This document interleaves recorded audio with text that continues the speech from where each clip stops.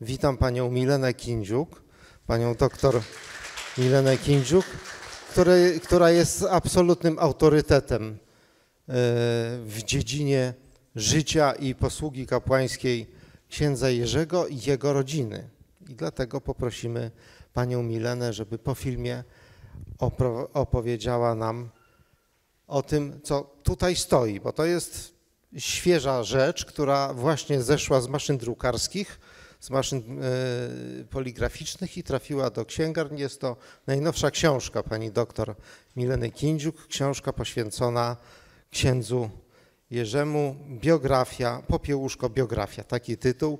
W listopadzie zapraszam Państwa na spotkanie e, z panią doktor, która będzie promowała specjalnie tutaj w tym e, przystanku Historia swoją najnowszą książkę.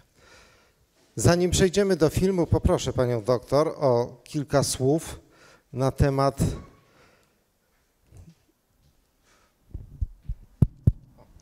Proszę. Na, na temat a, naszego dzisiejszego spotkania, to znaczy, kiedy pani po raz pierwszy zetknęła się z posługą kapłańską księdza Jerzego i skąd to zainteresowanie? Proszę siedzieć, bo tak będzie. Księdza Jerzego. Księdza Jerzego Popiełuszki niestety nie miałam okazji poznać osobiście. Y, Moja przygoda badania nad życiem i działalnością księdza Jerzego zaczęła się y, od uczestnictwa w jego pogrzebie. I później jako dziennikarka pisałam artykuły o księdzu Popiełuszce, później pierwsze książki. Miałam okazję poznać y, wyjątkową kobietę, Mariannę Popiełuszko, matkę księdza Jerzego, z którą y, przeprowadziłam wiele rozmów i efektem tego też była książka Matka Świętego. I ta oto biografia jest y, no, takim rezultatem y, ponad 20 lat y, badań, które prowadziłam nad życiem i nad działalnością księdza Jerzego Popiełuszki. Bardzo się cieszę z tego spotkania, bardzo się cieszę z tego, że będziemy mogli zobaczyć film dokumentalny o męczeństwie księdza Jerzego. Teraz jest ku temu znakomita okazja, bo y, no, zbliża się 19 października, rocznica uprowadzenia księdza Jerzego, także październik jest taki bardzo popiełuszkowy, a w tym roku jeszcze jest ku temu inna okazja, y, stulecie odzyskania przez Polskę niepodległości, a ksiądz Jerzy wpisuje się przecież w tę tradycję patriotyczną, narodową tutaj jak najbardziej. Kapelan Solidarności, kapelan y, ludzi pracy, który nie chciał Polski zostawić i za Polskę y, oddał życie, tak naprawdę. Chciałem tylko jeszcze kilka słów powiedzieć na temat naszego gościa. Pani y, Milena nie pisała książek tylko o księdzu Jerzym, ale również o kardynale Józefie Glempie, o Janie Pawle II tych pozycji jest bardzo dużo, mam je tutaj wypisane, ale nie będę ich wymieniał po, w tej chwili. W tej chwili zapraszam Państwa serdecznie na film, a po filmie na rozmowę z, z naszym gościem. Zapraszam. Zostałem zatrzymany wówczas, wówczas przez Służbę Bezpieczeństwa. Byłem studentem Uniwersytetu Śląskiego. Jako młodzi ludzie manifestowaliśmy na ulicach wtedy przeciwko władzy ludowej, przeciwko komunistom. Traktowano nas bardzo brutalnie, ponieważ e, dla nas e, takim duchowym przywódcą był właśnie ksiądz Jerzy Popiełuszko. Jego słowa powtarzaliśmy sobie, czy drukowaliśmy w podziemnych, e, w podziemnych wydawnictwach, w podziemnych gazetkach. E, myślę, że właśnie dzięki jego posłannictwu, jego posłudze nie złamała nas komuna, nie złamało nas e, ani służba bezpieczeństwa, ani władza ludowa, która e, wówczas nas uciskała. E, I dzięki niemu mamy dzisiaj wolną Polskę. Pani doktor, jak pani widzi tą sprawę? Jeszcze jestem myślami przy filmie, bardzo przejmujący jest ten film. E, zwłaszcza, że e, niektórzy ludzie, którzy mówią o księdzu Jerzym, którzy go wspominają, już nie żyją.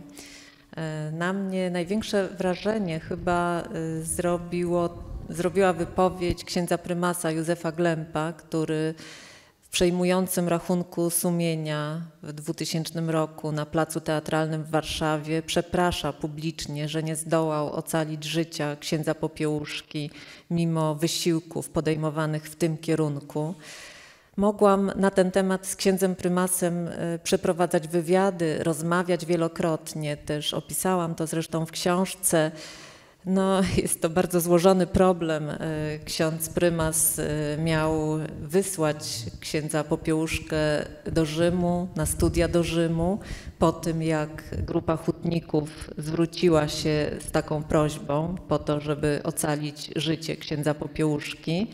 Jednak ksiądz Jerzy kategorycznie, tak jak mówił zresztą w filmie y, kardynał Glemp, ksiądz Jerzy odmówił. Powiedział, że absolutnie nie chce jechać, że byłaby to zdrada wobec ludzi, którzy na niego liczą, którzy y, mu ufają ale dodawał ksiądz Popiełuszko w rozmowie z prymasem, że jeżeli jako biskup, jako przełożony ksiądz prymas zdecyduje, że ma jechać, to oczywiście będzie posłuszny i pojedzie i kardynał Glemp nie zmusił księdza Jerzego. Rozmawiał e, na ten temat później już po męczeńskiej śmierci księdza Popiełuszki z Janem Pawłem II. Do końca życia borykał się tak po ludzku z wyrzutami sumienia, bo gdyby użył władzy biskupiej i zmusił, nakazał księdzu Popiełuszce wyjechać, prawdopodobnie ocaliłby jego życie ale no, to, co mówi y, kardynał Glem też w filmie i w tym rachunku sumienia, że widocznie taka była święta wola Boża, że tak się nie stało. Y, no ale dla mnie właśnie jest to bardzo przejmujące są te słowa księdza prymasa, bo też widzę go, jak siedzi przy biurku, jak y, drży mu głos i jak mówi za każdym razem, gdy to wspominał, jak mówił, że, no, że do końca życia ma te wyrzuty sumienia, że staje mu nieraz przed oczami obraz y, księdza Jerzego, że wraca do rozmów z księdzem Popiełuszką i y, że tak po ludzku jest mu strasznie przykro, że, no, że nie zmusił go. A z drugiej strony Jan Paweł II przekonywał prymasa Glempa, że, y, że zrobił dobrze, że, że nie miał jakby no nawet prawa y, zmuszać y, y, swojego księdza do postępowania wbrew jego woli, do złamania sumienia mu. Rozmawiałam na ten temat także z kardynałem Nyczem, z kardynałem Dziwiszem. Też mówili, że, no, że jako biskup nie może łamać sumienia kapłańskiego i że prymas tak naprawdę nie miał wyjścia, że ta jego postawa była taka bardzo prawa, bardzo szlachetna, ale okupiona wyrzutami sumienia, atakami. Prymas przecież był atakowany za to. To tak na gorąco. Ksiądz Jerzy to jedna z wielu ofiar e, systemu, e, zbrodniczego systemu komunistycznego, ofiar księży, którzy ponieśli życie stając w obronie świata pracy, w obronie ludzi, w obronie wolności, e, e, wolności narodu polskiego.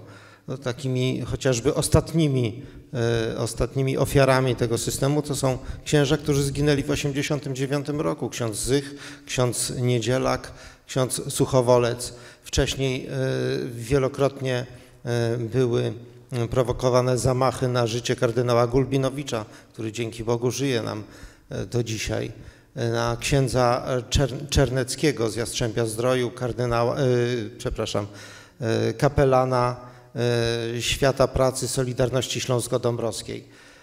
Tych zamachów było bardzo dużo. My o nich tak naprawdę nie wiemy do końca, ile ich było. Z tego filmu wiemy, że na księdza Jerzego Służba Bezpieczeństwa próbowała wielokrotnie e, e, na jego życie się targnąć. Mm, na szczęście, no, przepraszam za to słowo, no, w końcu dokonali tego mordu. Ale porozmawiajmy o życiu księdza Jerzego.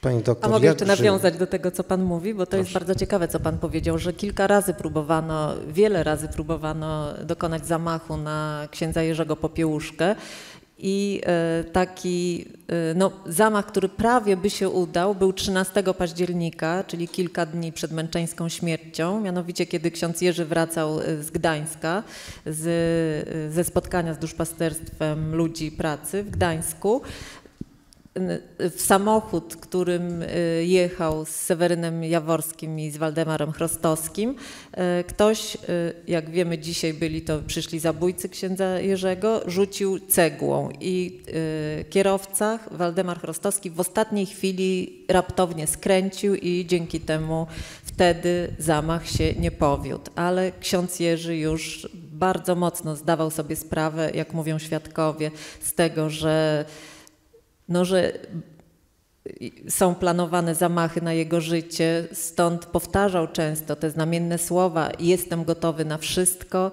oni mnie zabiją, oni mnie wykończą.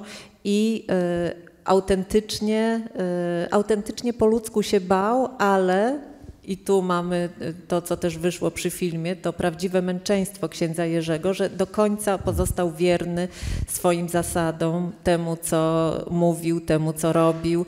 Do końca odprawiał też y, msze za ojczyznę, które ostatecznie były przecież przyczyną y, prześladowania i zamordowania księdza Jerzego, bo władzom komunistycznym nie podobały się y, kazania, które ksiądz Jerzy mówił, mimo że, tak jak w filmie mieliśmy wypowiedź arcybiskupa Gocłowskiego, że w tych kazaniach naprawdę nie było polityki. Ksiądz Jerzy po każdym kazaniu nawoływał ludzi do spokoju, do tego, żeby się rozchodzili, y, nie angażując się w żadne manifestacje, nie, żeby nie brali ulotek, że wręcz mówił, że ci, którzy będą y, angażować się w jakieś strajki, którzy będą manifestować, są wrogami, nie są nasi. I ludzie bardzo sobie to brali do serca i y, słuchali księdza Jerzego, rozchodzili się w ciszy. Także do końca ta wierność księdza Jerzego prawdzie, wierność Ewangelii i męczeństwo. Męczeństwo, którego nie pragną, też to, co prymas wyjaśniał na filmie, że y, ksiądz Jerzy uciekał w momencie y, porwania. W którymś momencie jak był w bagażniku y, zamknięty, klapa bagażnika się podniosła i ksiądz Jerzy y, no, uciekał, uciekał, wołał ratunku i miał prawo to zrobić. Miał prawo jako człowiek, jako chrześcijanin, miał prawo do ocalenia swojego życia, co nie jest równoznaczne z tym, że się poddał, czy że się zaparł wiary, czy Chrystusa. Także to, co wiadomo na pewno, to wiadomo, że jest męczennikiem. Film, y, ja film osobiście widziałem przynajmniej 7 albo 8 razy z racji swoich obowiązków zawodowych. Dzisiaj stałem sobie z tyłu, oglądałem po raz kolejny i muszę powiedzieć, że film się absolutnie nie zestarzał. Film jest tak bardzo emocjonalnie y, pełen napięcia i że obejrzałem go z bardzo dużym zainteresowaniem i taka myśl mi przyszła pod koniec do głowy, że to jest film o życiu księdza Jerzego. Ludzie opowiadają o jego życiu w tym filmie. Choć dużo jest słów o śmierci, ale o życiu księdza Jerzego. Pan... O życiu i ludzie opowiadają, którzy wciąż przy grobie czuwają, proszę Państwa. To jest niesamowite. Od dnia uprowadzenia księdza Jerzego, od 19 października 1984 roku do dzisiaj ci sami ludzie, nowi ludzie kolejni, dzień i noc czuwają przy grobie księdza Jerzego. Pełnią coś w rodzaju warty honorowej, bo na początku y, zbierali się po to, żeby strzec grobu. Bali się, że komuniści ten grób zniszczą, zdewastują, że będą tam jakieś prowokacje, a później później przerodziło się to w takie czuwania służb, rodzaj hołdu y, dla księdza Jerzego. Także ci sami ludzie. Pomimo nawoływań na mszach y, przez księża Jerzego i innych kapłanów, żeby nie rozdawać ulotek, żeby y, nie wzniecać jakby buntu przeciwko rządzącym wówczas, jednak z całej Polski jechały setki tysiące ludzi, żeby przyjechać w tą konkretną niedzielę na mszę e, którą celebrował ksiądz Jerzy Popiełuszko. Na Jak- mszę za ojczyznę, zawsze. tak, bo to były msze za ojczyznę niedzielę- raz w miesiącu. Mhm. W ostatnią niedzielę miesiąca zawsze msza za ojczyznę i ta piękna pieśń, którą Leon Łochowski, nieżyjący już zresztą, śpiewał Ojczyzno ma tyle razy we krwi skąpana. Ta, ta y, pieśń jest zresztą śpiewana co roku w rocznicę uprowadzenia y, księdza Jerzego 19 października w kościele świętego Stanisława Kostki. No więc jak żył ksiądz Jerzy? Żył bardzo prosto, tak jak to wynika ze słów pani Marianny Popiełuszko. Pamiętamy ten piękny wiersz, który wyrecytowała matka księdza Jerzego. W bardzo prostej, bardzo zwyczajnej, pobożnej rodzinie Marianny i e, Władysława Popiełuszków urodził się ksiądz Jerzy. I to życie wyznaczała właściwie e, rodzinne matka. Matka była bardzo silną osobowością, bardzo mądra kobieta. Dla mnie to były największe rekolekcje w życiu, jak mogłam rozmawiać z panią Marianną Popiełuszko. Miała niesamowite powiedzonka. Poczucie humoru zresztą ogromne. Kiedyś pamiętam po jednej e, z mszy, e, chyba z okazji imienin księdza Jerzego Popiełuszki, nuncjusz apostolski zapytał panią Mariannę, ile ma lat, ile właściwie ma lat, bo ciągle tak tyle ma energii, tyle opowiada, wszystko pamięta, a miała wtedy już 90 lat. A pani Marianna tak z takim uśmiechem zawiązała sobie chusteczkę pod szyją i mówi tyle lat, ile zim, kobiety się o wiek nie pyta.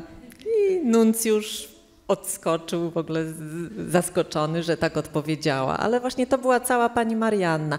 A pamiętam też, jak żegnała się z jednym z biskupów po mszy z kolei z 19 października, którejś rocznicowej. I mu, ksiądz biskup podszedł do niej, to był biskup Pikus, jeszcze wtedy w Warszawie był i mówi, no mama, dziękujemy tu bardzo, pani Marianno, uświetniła pani uroczystość. Pani Marianna tak spojrzała i mówi, Księże biskupie, szczęść Boże, ale ksiądz biskup pamięta, najważniejsze w życiu to w Boga wierzyć i Boga mieć na pierwszym miejscu. I biskup też odskoczył, ale jej to pasowało. Miała taką autentyczną wiarę, ona tą wiarą żyła i, i tak wychowywała swoje dzieci. Dla niej było normalne, że y, ksiądz Jerzy jako dziecko głośno na kolanach odmawiał pacierz codziennie z rodzicami i z rodzeństwem, że odprawiał w domu drogę krzyżową, że chodził te cztery kilometry y, do szkoły, widzieliśmy w filmie, y, a też do kościoła przez las, cztery kilometry codziennie przed y, lekcjami uczestniczył jako dziecko we mszy świętej o siódmej. I wstawał o piątej, pani Marianna opowiadała, że śnieg, nie śnieg, mróz, nie mróz, deszcz, nie deszcz, to dziecko szło i z własnej woli, przez nikogo nie przymuszane, szło do kościoła. Ale to była właśnie, to było jej wychowanie, jej e, kształtowanie e, księdza Jerzego. Także życie bardzo zwyczajne, bardzo proste, przy ciężkiej pracy. Nie wiem, czy Państwo zwrócili, zwrócili uwagę, jak zniszczone, spracowane ręce ma pani, miała pani Marianna. Naprawdę całe życie bardzo, bardzo ciężko pracowała i ksiądz Jerzy też w tych pracach polowych pomagał jako dziecko, jako młodzieniec. Chociaż pani Marianna się śmiała, że pomagał najmniej, bo no, ciągnęło go do książek, do, do wyższych rzeczy, jak to mówiła, i trudno jej było zagonić go, kolokwialnie mówiąc, do pracy w polu. A kiedy ksiądz Jerzy podjął decyzję, że zostanie księdzem? Podjął tą decyzję po balu maturalnym, y, kiedy przyszedł y, do domu, no właśnie po tym balu, powiedział matce w tajemnicy, tylko matce, że chce wstąpić do seminarium. Wcześniej był ministrantem, myślał o tym, nikomu nie mówił. E, Też e, bardzo charakterystyczne to, co czytał ksiądz prałat Malacki, to podanie księdza Jerzego do, e, z prośbą o wstąpienie do seminarium. Napisał, że chce zostać księdzem, bo mam zamiłowanie do tego zawodu. Widać właśnie jak, jaki sposób myślenia, taki bardzo prosty i taki przesiąknięty taką mądrością życiową pani Marianny Popiełuszko. Teraz może parę słów o książce. Kolejna książka, biografia człowieka, który oddał ży życie za prawdę. Jak to się stało, że postanowiła Pani napisać taką pełną biografię księdza Jerzego? E, Ta książka jest efektem, tak jak wspominałam na początku, ta dwudziestoletnich badań nad życiem i nad działalnością księdza Jerzego. Zbieram wszystko, do czego docierałam w ciągu tych lat. E, Dotarłam teraz jeszcze do e, nowych dokumentów, badałam archiwa, które do tej pory były niedostępne dla badaczy, na przykład archiwum Prymasa Polski przy Miodowej. E, także Archiwum Konferencji Sekretariatu e, Episkopatu Polski.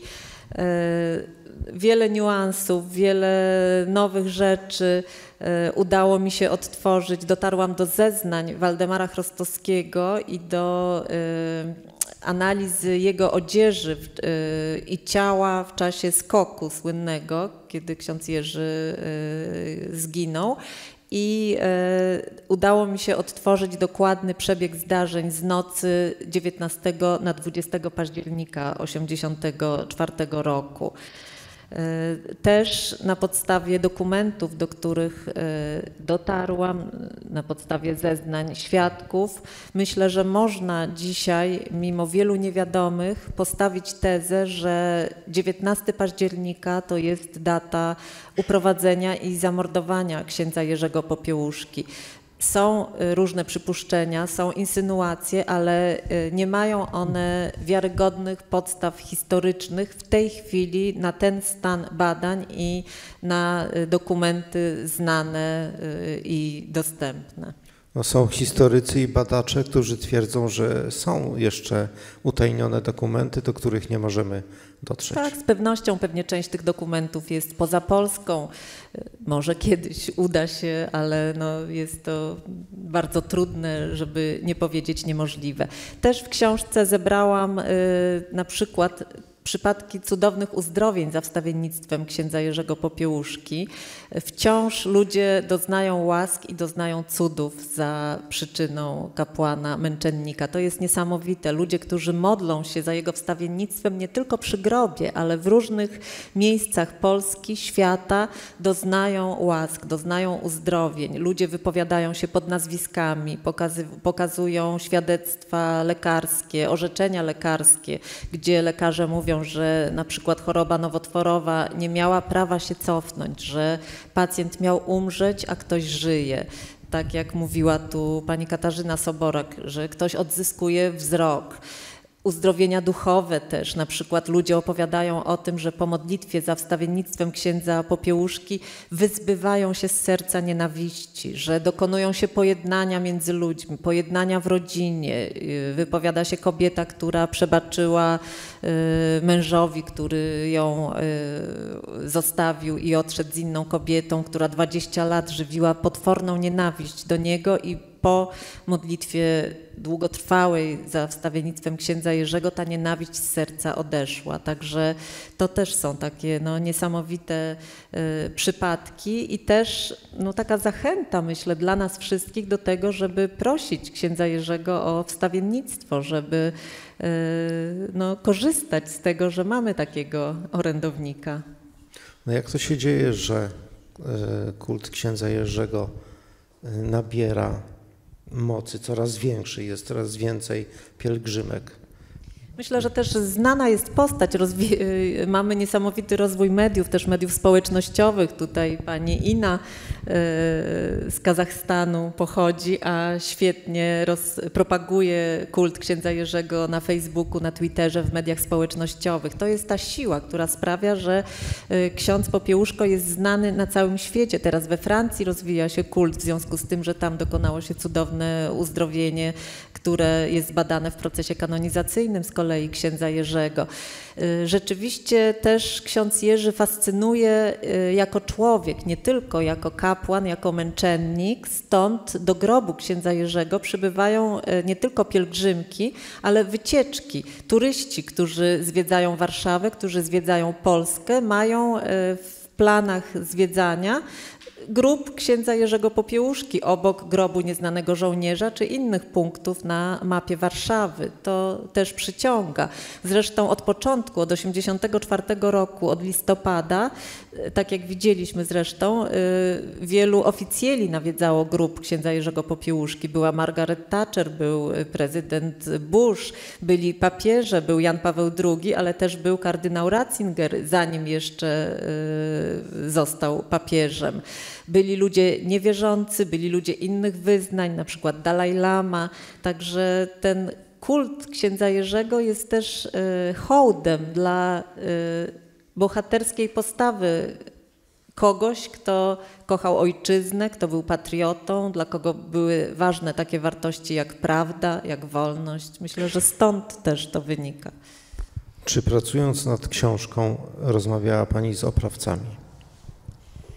Nie rozmawiałam z oprawcami.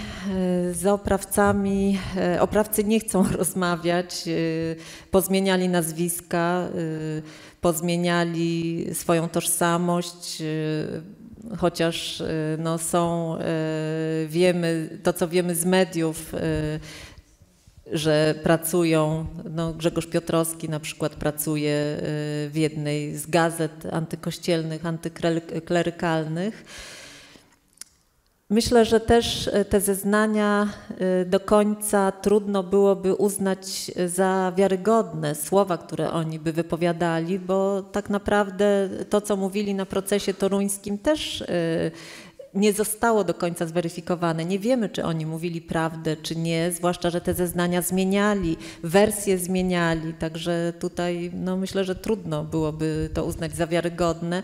To, co ważne jest dla historyków, dla badaczy, to są przede wszystkim dokumenty, a tych dokumentów nie ma i prawdopodobnie nie będzie.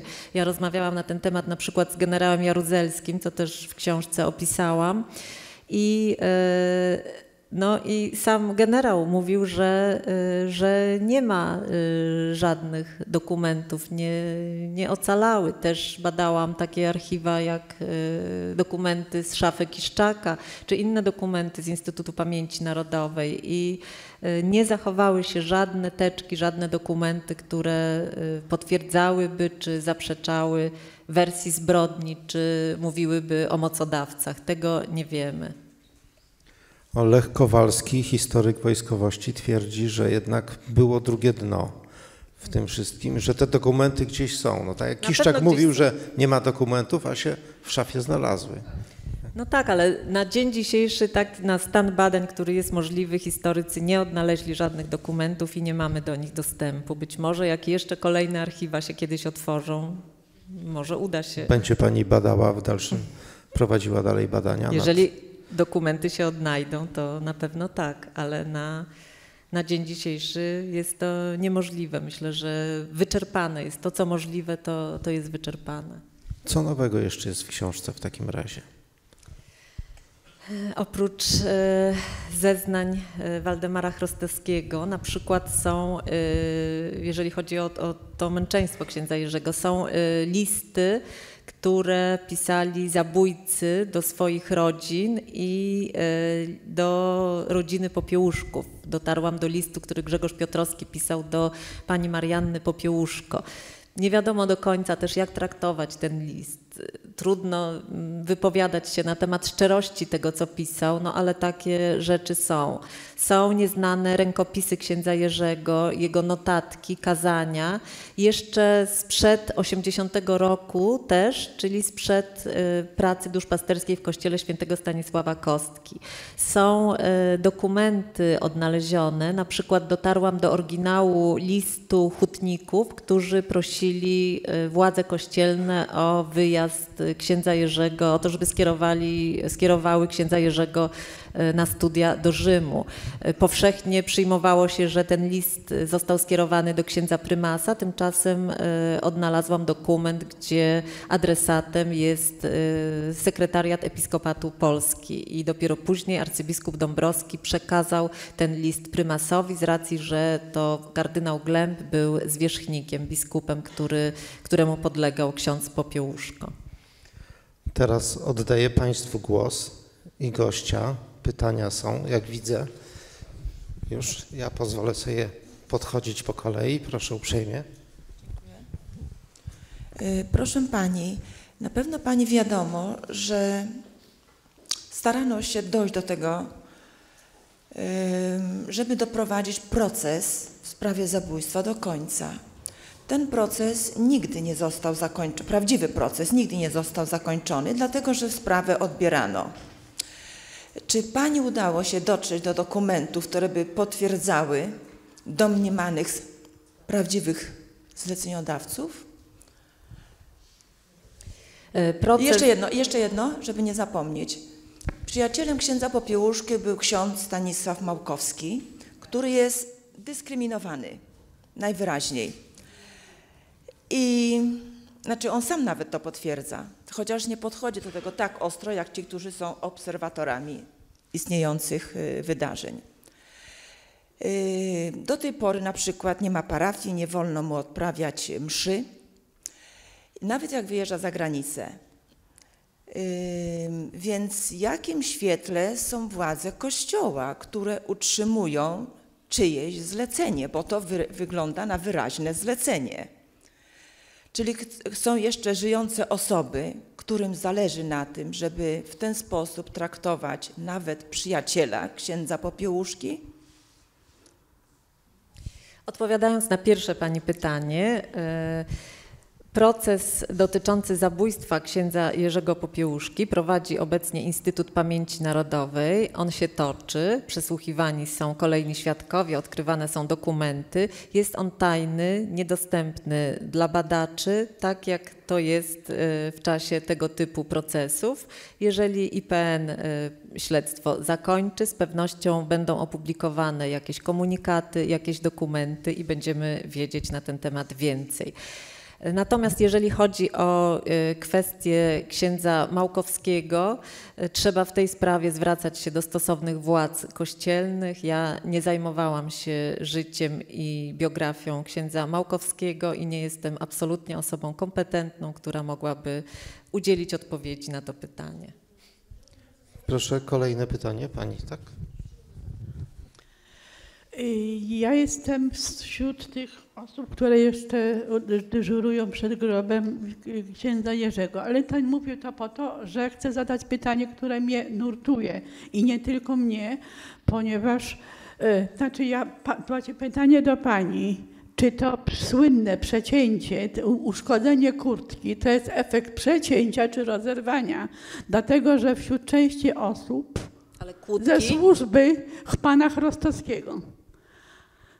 Znaczy W czasie, w czasie wyskakiwania samochodu. tak? O ponieważ- kajdanki chodzi pani, tak? Słucham? O kajdanki chodzi, tak? Nie o kajdanki, tylko chodzi mi o kurtkę, w której był ubrany pan Chrostowski, jak wyskakiwał z samochodu. Chwileczkę, bo istnieje opinia taka, że to rozerwanie kurtki to jest efekt rozerwania, ale jest też efekt, że to jest, część osób mówi, że to jest efekt przecięcia.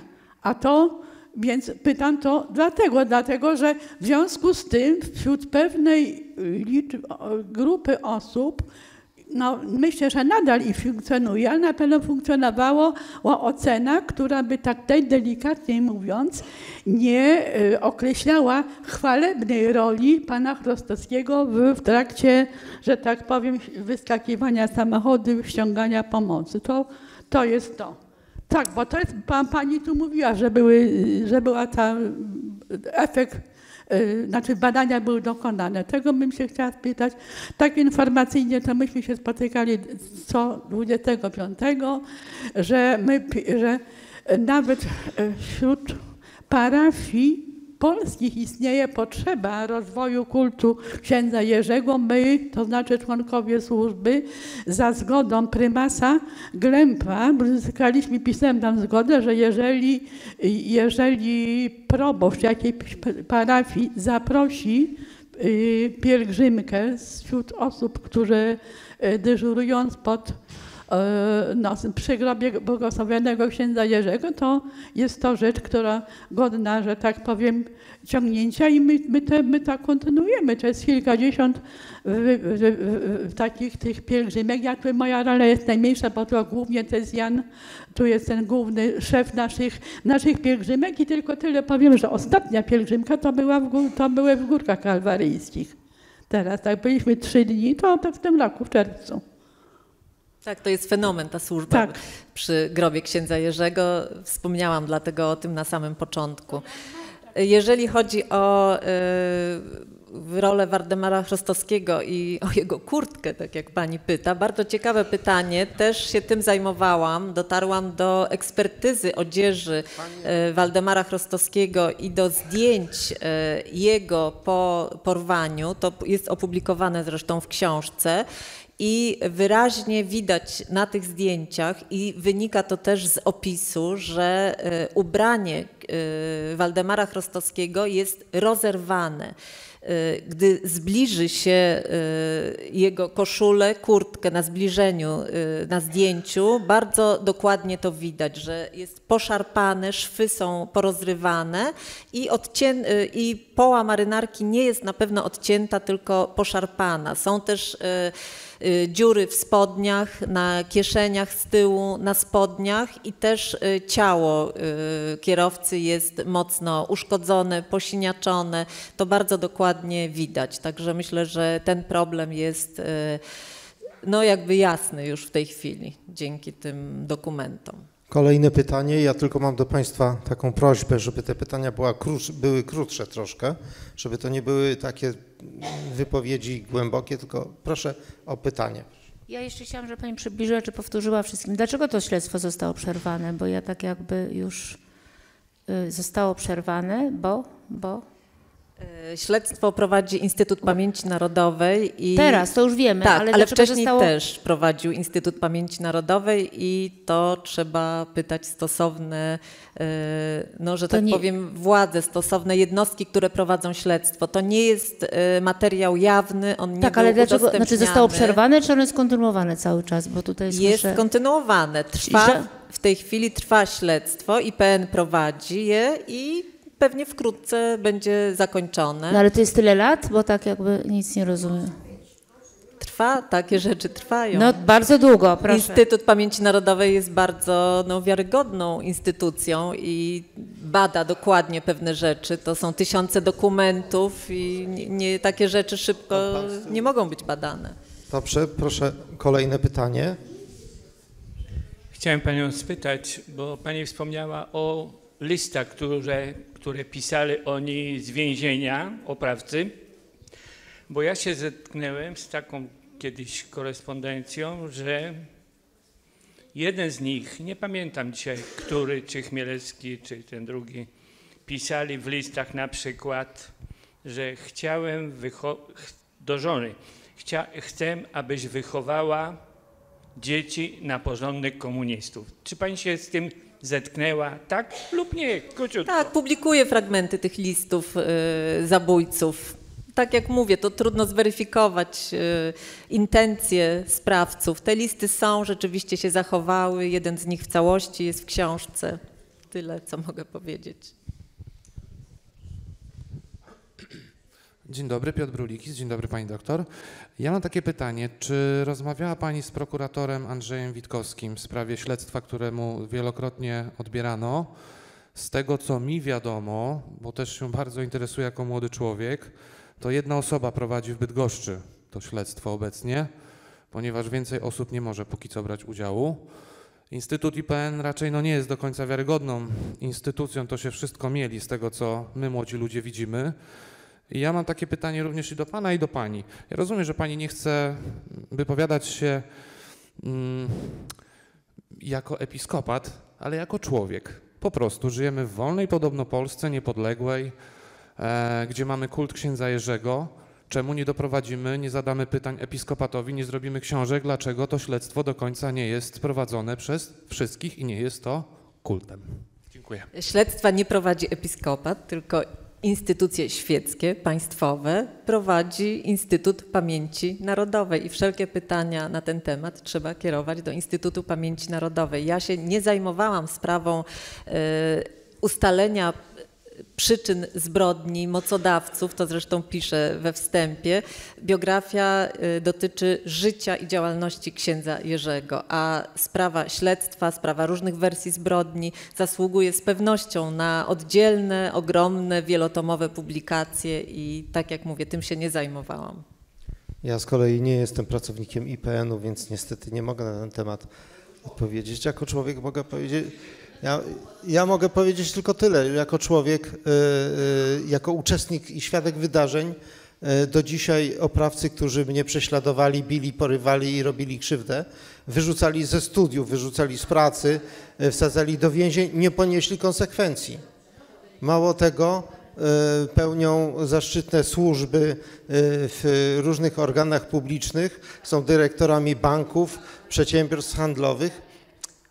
No cóż, ja im mogę tylko wybaczyć, tak? Złe uczynki wybaczam złym ludziom i idę dalej. E, Natomiast no, pewien taki smutek we mnie pozostaje, że e, oficer służby bezpieczeństwa, dzisiaj e, kobieta jest dzisiaj członkiem jury dużego fes- festiwalu filmów dokumentalnych, na którym zresztą byłem niedawno i jest, jest to dla mnie to taki policzek, mówiąc krótko i brutalnie. No. Tylko ja myślę, że to jest inny temat, że tu Tak. spotkaliśmy się... Myślę, że na, na ten temat możemy zrobić. O,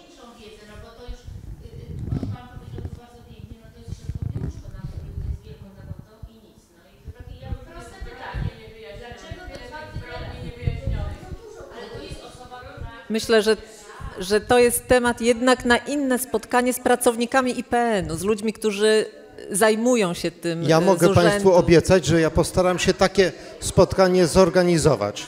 Zaproszę kilka osób z IPN-u, które mogą nam opowiedzieć o umorzonych y, śledztwach przez IPN między innymi na temat zbrodni na księdzu Jerzym, na temat zamachów na kardynała Gulbinowicza, na temat zamachów i oczerniania w prasie e, e, księdza, dzisiaj na emeryturze już księdza Czerneckiego, kapelana Śląsko-Dąbrowskiej Solidarności. Dlaczego nie ma ciągle wyjaśnionych zbrodni e, na e, księdzach Niedzielaku, Suchowolu e, czy e, księdzu Zychu? Myślę, że to mogłoby być bardzo ciekawe spotkanie Tak. z ludźmi, którzy tym się zajmują, którzy... Y, Byłam na takiej konferencji poświęconej właśnie tym, y, tym y, morderstwom i y, no nie wiem, można by było zajrzeć. y, Tylko króciutko, proszę. Jakiś czas temu była y, na UKSW konferencja, y, nawet chyba dwudniowa, o ile dobrze pamiętam, y, poświęcona w części niewielkiej właśnie morderstwo na, księ, na księżach. E, I było to omawiane, aczkolwiek no, takich pozaoficjalnych ym, informacji y, nie było, ale można chyba zajrzeć ym, w internet i może się to znajdzie. Nie potrafię powiedzieć, kiedy to było, ale rzeczywiście są omawiane te sprawy na UKSW. Jeżeli pani Pani dotknęła doktor już jest z UKSW, UKSW, właśnie, ja jestem z UKSW i w tym roku y, będzie konferencja poświęcona księdzu Popiełuszce. Y, Tytuł jest Wiara i patriotyzm, msze za ojczyznę księdza Jerzego Popiełuszki w stulecie odzyskania niepodległości. To będzie konferencja pod y, patronatem y, pana prezydenta z udziałem kardynała Nycza, znamienitych historyków. Także jak Państwo będą zainteresowani, to serdecznie zapraszam. Ona będzie dzień przed rocznicą uprowadzenia, czyli 18 października o godzinie 10 na UKSW przy ulicy De Vaitis. Czy są jeszcze jakieś pytania? Dobrze, to ja obiecuję Państwu, że ja takie spotkanie zorganizuję w ciągu dwóch miesięcy, ponieważ e, będę się starał e, sprowadzić e, przedstawicieli IPN-u z różnych oddziałów IPN-u. Proszę, tu jeszcze. Tak, ja mam pytanie odnośnie relacji z prymasem Glempem. Tak, pytanie odnośnie relacji z prymasem Glempem, bo czytałam wiele artykułem na ten temat także. Też, że nie wiem, czy te wyrzuty sumienia właśnie prymasa miały tylko takie związek z tym, że go, księdza Jerzego nie wysłał na studia do, do Rzymu. Bo doszłam do takich relacji, gdzie jest powiedziane, że ksiądz Jerzy wychodził z tych rozmów z prymasem, bardzo płakał, bardzo po prostu przeżywał to, że prymas zarzucał mu, że jest celebrytą takim troszeczkę. No i to jest moje pytanie do pani, czy pani też do tego dotarła? E, Tak, dotarłam. To jest znana wypowiedź e, księdza Jerzego e, w zapiskach, które pisał. Rzeczywiście po jednym, szczególnie po jednym spotkaniu z księdzem prymasem wyszedł zdruzgotany. Ja przeanalizowałam dokładnie tą y, sprawę i y, wiele też rozmawiałam z księdzem prymasem, z innymi księżmi z kurii na ten temat. Postawa księdza prymasa była y, taka, że cały czas jako biskup odpowiedzialny za swojego księdza też był odpowiedzialny za jego życie, za jego życie fizyczne. Tak jak ojciec jest odpowiedzialny za życie syna, tak biskup jest odpowiedzialny za życie swojego księdza. Stąd y, rzeczywiście czasem kiedy sytuacja była już bardzo trudna, kiedy kolejne y, dokumenty, y, listy przychodziły od y, władz państwowych, czy kolejne telefony z pogróżkami. Prymas przecież miał mnóstwo telefonów, mnóstwo rozmów prowadził z władzami, które straszyły wręcz, że jeżeli ksiądz Popiełuszko nie przestanie odprawiać mszy za ojczyznę, to zginie, to różnie może być. I prymas o tym wiedział, że, że rzeczywiście może być różnie, że oni są gotowi no, nawet do najgorszego, co się stało. I dlatego, żeby chronić księdza Jerzego, prosił wiele razy, żeby był ostrożniejszy, żeby może albo przestał odprawiać msze za ojczyznę, albo przestał na nich głosić kazania, ale nigdy nie nakazał, żeby to zrobił, bo wiedział, że, y, że ksiądz Jerzy rzeczywiście odnosi się tylko do Ewangelii, że głosi słowa prawdy, więc mu nie zakazał nigdy tego, ale po to, żeby chronić, czasem prosił, żeby, żeby był ostrożniejszy. I ksiądz Jerzy, no dużo, mhm, dużo młodszy od y, księdza prymasa, to jest też konflikt taki pokoleń trochę. Prymas, który przeżył wojnę, który przeżył czasy komunizmu, y, patrzył bardziej pozytywistycznie, patrzył tak, żeby ocalić życie swojego księdza. A ksiądz Jerzy, młody, zapalony, y, zafascynowany ideami Solidarności, chciał zmieniać świat na lepsze jakby nie zdając sobie do końca może sprawy z zagrożenia, a prymas musiał te emocje studzić i, i musiał księdza Jerzego y, chronić, chciał chronić. No, jak wiemy, nie ochronił, bo nigdy nie zmusił do niczego, nie zakazał. Przecież to starczyła jedna decyzja prymasa, żeby albo zakazał mu odprawiania mszy za ojczyznę, albo przeniósł go do innej parafii. Nie zrobił tego nigdy.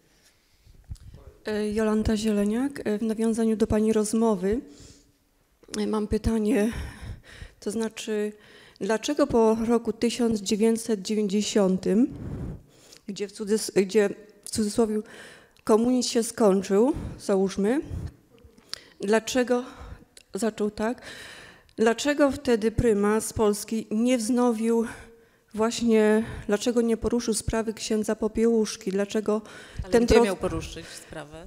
90 lata są Ale prawda? gdzie miał poruszyć? y, Jako, jako osoba, która by, była opiekunem księdza Popiełuszki. Ale nie bardzo rozumiem, gdzie by poruszył, bo zaczął proces beatyfikacyjny, W doprowadził roku? do Ale w końca. którym roku? y, Doprowadził do końca W ten którym, proces ale w którym roku beatyfikacyjny. rozpoczął? W 97 się zakończył proces. Myślę, że w 94, ale y, starania i konsultacje Tak, podejmował dokładnie. dużo wcześniej. Podejmował już po śmierci księdza Jerzego. Też dotarłam do takich dokumentów, gdzie y, prymas y, no, dąży do tego, żeby rozpocząć proces beatyfikacyjny. I to ostatecznie jest decyzja księdza prymasa Glempa, że proces się rozpoczął i że, i że mógł się zakończyć i że ksiądz Jerzy jest beatyfikowany, że został wyniesiony na ołtarze. Także nie bardzo rozumiem pytania, Mhm. Aha, dobrze, gdzie, dziękuję. miał, gdzie miał... Tej wiadomości nie miałam. Pytanie. Znaczy, do, do pani. Y, Wie pani co, po 89 roku to tak naprawdę nic się nie zmieniło, ponieważ chociażby nawet paradygmat nie został y, zmieniony y, Praktycznie nic, proszę pani. W, dalej, y, w dalszym ciągu z człowiekiem można wszystko zrobić. Opluć, zgnieść, zdeptać i tak dalej. No i o, Proszę Państwa, proszę Państwa, dwa słowa pozwolę sobie powiedzieć i zadam też pytanie Pani doktor, bo to pytanie mnie nurtuje od wielu lat. E, Ksiądz Jerzy był e, duszpasterzem świata ludzi pracy. Świat ludzi pracy w tamtych, w latach 80.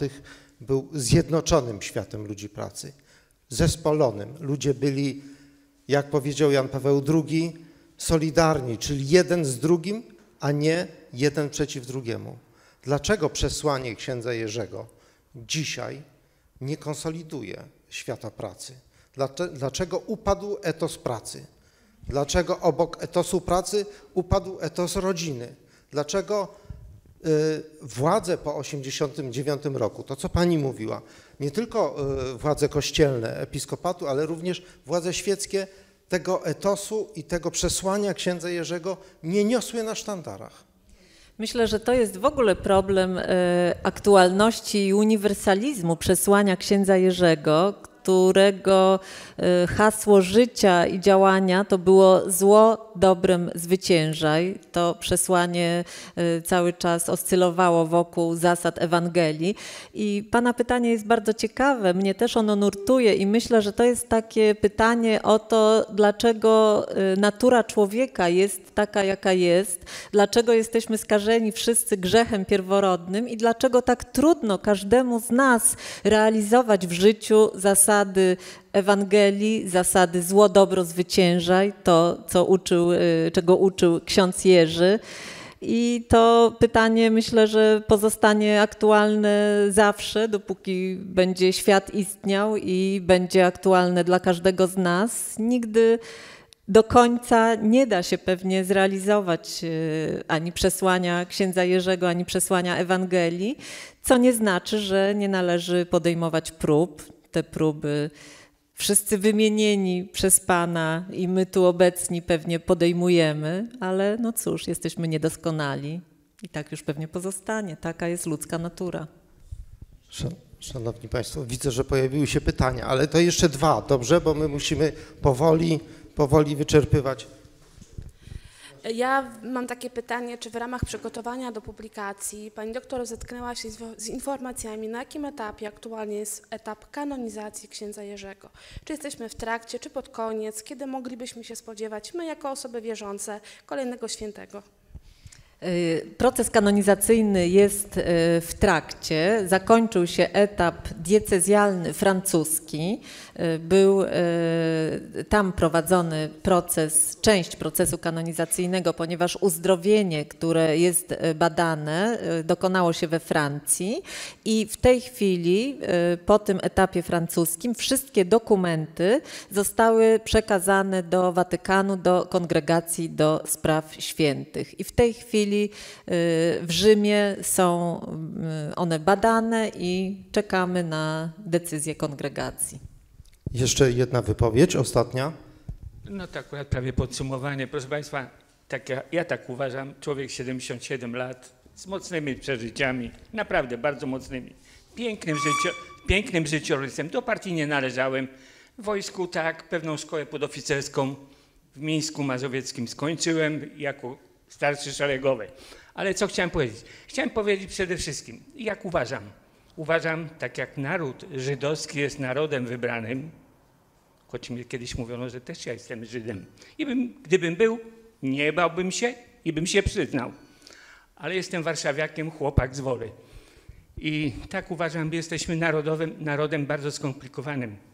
Jak ktoś zna naszą historię, rozbiory, przed rozbiorami, dzielnicowe sprawy, tak tu w sprawach teraz, sprawa Solidarności absolutnie padła. Absolutnie padła. Uważam, że nieporozumienie. W ogóle idea była kapitalna.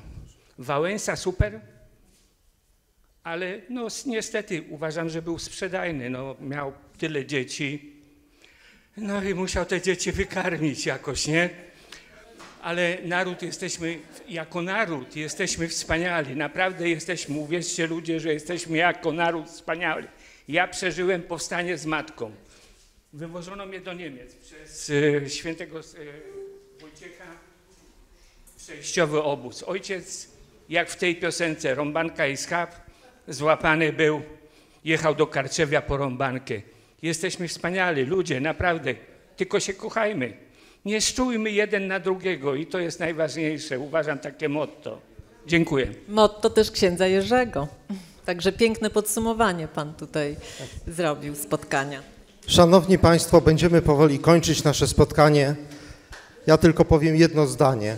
Jan Paweł II powiedział: Nie lękajcie się, a ksiądz Jerzy powiedział: Wolność jest w nas. I to jest, myślę, y, takie, z, z, taka myśl na nasze najbliższe lata. Dziękuję Państwu bardzo za spotkanie. Dziękuję Pani doktor Również za bardzo obecność. dziękuję. Ja zapraszam Państwa jeszcze na spotkanie promujące książkę Pani doktor, które się dopiero odbędzie. y, Za jakiś czas zostanie to ogłoszone, a dzisiaj tak troszkę pozwoliliśmy sobie takim przedskoczkiem tak zwanym książkę zaprezentować. Bardzo dziękuję jeszcze Bardzo raz. dziękuję również. Dziękuję.